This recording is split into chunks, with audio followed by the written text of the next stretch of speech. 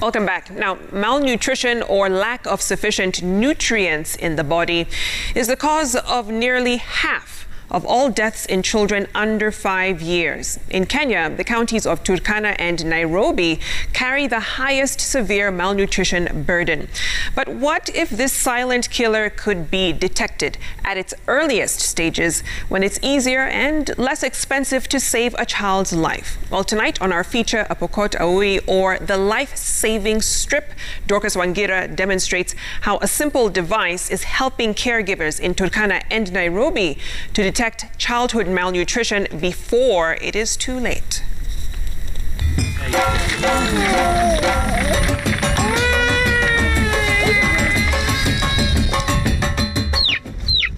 The sun's rays rain in Lokamar Kori village, Loima sub-county, Turkana. In the sweltering heat, 35 year old Agnes Ekai isn't just weaving a reed mat, she is telling her life story strand by strand. It takes almost an entire day to complete just one mat, like this one sharply juxtaposed against her cracked, calloused feet. At best, it will fetch 100 shillings when sold at the market. And from this sustenance, she has to feed her three children Ekitela, her six year old son, Akurai, her three year old daughter, and Nakua, her one year old son, who is still breastfeeding. When Nakua is hungry, he cries or motions that he wants to breastfeed. But how does Agnes tell if her children are not just hungry but also malnourished? Sometime back in the 80s, people knew about marasmus and kwashiorkor because those were the uh, conditions that presented into the facilities quite often. So there were little or no mechanisms for early detection. The opposite of good nutrition would be malnutrition, but it encompasses three different types of deficiencies. There is the protein energy deficiency, but then there is the hidden hunger that we call a micronutrient deficiency. For example, you will lack some micronutrients, say iron deficiency. We call them hidden because it's not very easy to tell. So there could be a problem of overweight or obesity. It's not very easy to tell that a child is malnourished uh, unless that child is um, severely malnourished or having complications. If a child is chronically malnourished, the, the nutritional status may not be reversed. For example, stunting. Once a child is stunted, there is nothing we can do about it. So, how can a mother and caregiver like Agnes detect malnutrition? One is to see if her children have pitting or edema, that is, when a swollen part of your body has a dimple or a pit after you press it for a few seconds. Children who are severely malnourished will have um, accumulation of, of, of, fluid. That is a complication in itself. Child who has edema has very high uh, risk of death. None of her children have pitting edema. Sometimes, to tell if a child is aged below five, particularly for vaccination drives, a health worker would ask the child to stretch the arm from one ear to the other. If the arm goes past the ear, the child is past the age of five. If not, he or she is below the age. So, Agnes pulls out a strip. It has three measures yellow, red, and green. She winds it round Nakua's upper arm until its hold, like a noose, measures its circumference. The measure falls in the yellow bar. She repeats the same, this time with Akurai, and once again, her measure is yellow. Selina Ekitela, a mother of four, pulls out a strip similar to Agnes's. She tells us it is called Apokot Awui, which translates to a family strip. This family MUAC or mother led MUAC, as it is also sometimes called, is a community screening approach which empowers mothers, caregivers, and other family members to screen their own children for acute malnutrition using color coded MUAC tapes. Red, less than 11 centimeters, means a child has severe acute malnutrition, that is, very low weight for height, and should immediately be referred for treatment. Yellow color between 12.5 centimeters and 13.5 centimeters indicates that the child is at risk for acute malnutrition and should be cancelled and followed up for growth promotion and monitoring. Green color over 13.5 centimeters indicates that the child is well nourished.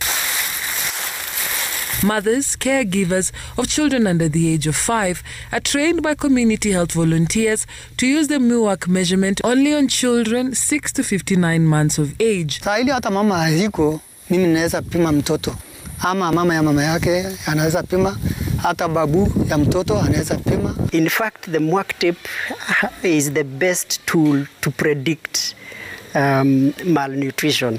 This simplified MUAC tape color coded without calibrations is easier to use even with the caregivers who are not literate.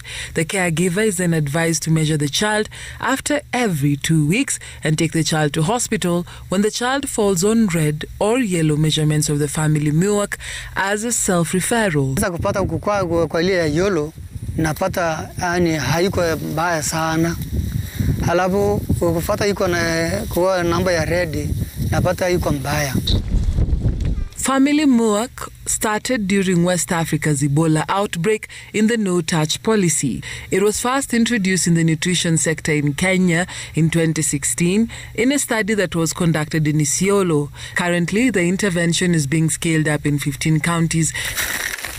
In Turkana, the prevalence of malnutrition is 25.6%, meaning that one in every four children is malnourished. Turkana is one of the counties in Kenya where children below the age of five are either severely malnourished or moderately malnourished.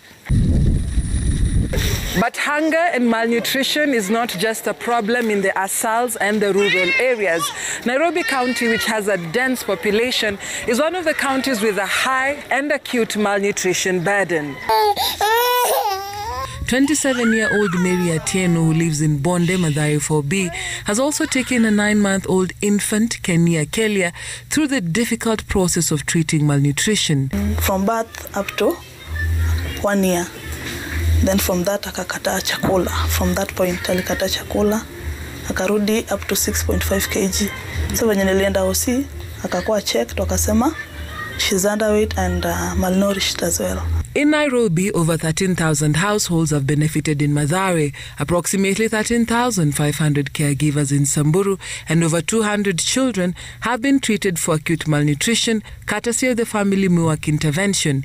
Including Mandera, which, according to a Save the Children survey, leads in moderate acute malnutrition, Turkana, which is second, and Nairobi, third. In Nairobi, the prevalence of malnutrition, according to Save the Children, is 3.9%, meaning that one in every 25 children is malnourished. si nairobi ako rich some asshole, kila mtu ana asol wengine wako poa but njaa iko Severe acute malnutrition often requires a child to be admitted and taken through a complicated 10 step process recommended by WHO. As an eighth step, ready to use therapeutic food RUTF is used, one which is high in energy and protein and eaten even eight times a day. This crucial eighth step of RUTF given at the local clinic is what has helped Tiana regain weight and move from red to yellow. she's improving the last time Linda nilienda ozi aliongeza like 0.2 kg.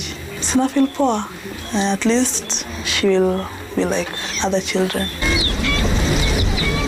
Even though child malnutrition is a prominent chapter in Turkana's story, its changing face of green kitchen gardens sprouting and thriving in the desert is another promising one.